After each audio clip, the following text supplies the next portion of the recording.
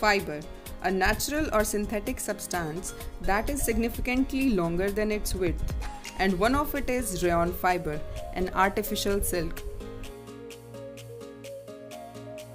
Today, we will conduct a very interesting experiment which is making of rayon fiber. We need basic copper carbonate for this experiment. Now, take a beaker and pour into it about 4 gram of basic copper carbonate. Copper carbonate has greenish tint. Next, we will take 25% ammonia solution and pour it into basic copper carbonate which forms a bright blue colored complex of copper. Now mix the solution.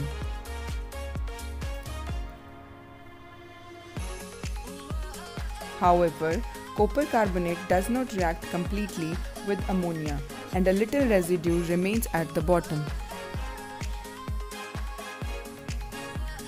Let's pour the liquid into other beaker for the solution to become clear. This copper compound complex has very interesting property as it can dissolve the cotton wool.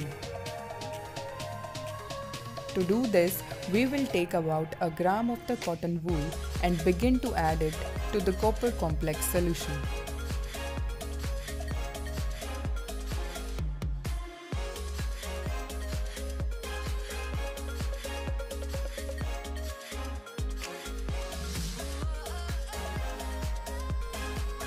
The wool is highly soluble and forms so-called viscose, which is the raw material for the production of artificial silk.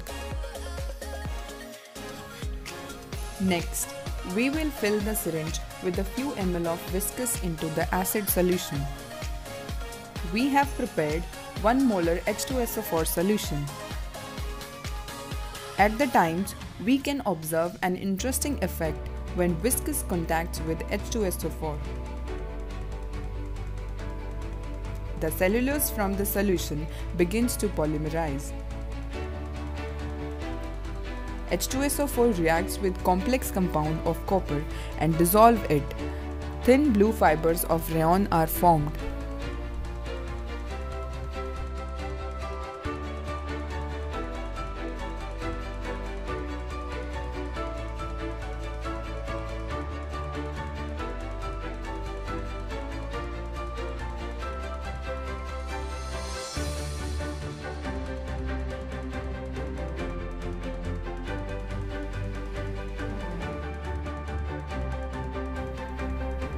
After some time, sulfuric acid reacts with the complex compound and washes out the copper salt from the fibers.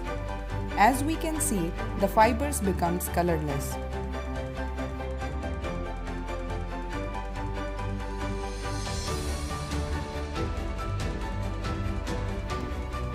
Now, we will transfer our fibers from the solution to water.